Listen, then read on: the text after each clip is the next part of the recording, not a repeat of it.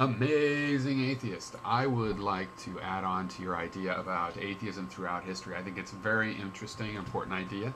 I haven't found a lot of people uh, that I run into have it. I, I, share it. You seem to share it with me. Um, but yes, that there's just this historical idea, and the point is that atheism isn't just a new invention that now they have to deal with, and they, they all want to go back in time, and they have to realize, no, back in time we were there too. Uh, we were just oppressed and killed for for having a belief system uh, without gods in it, and it's perfectly fine to, to have a belief system without gods in it. And you're right, uh, and I understand now why you want to stand up and have a handle with the name in it.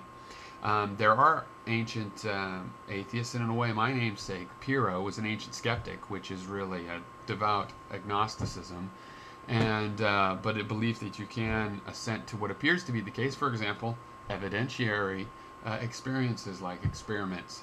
So, I just wanted to add on to that, maybe expand it a little, or maybe not. It's really just what you said, but my words. And cheers.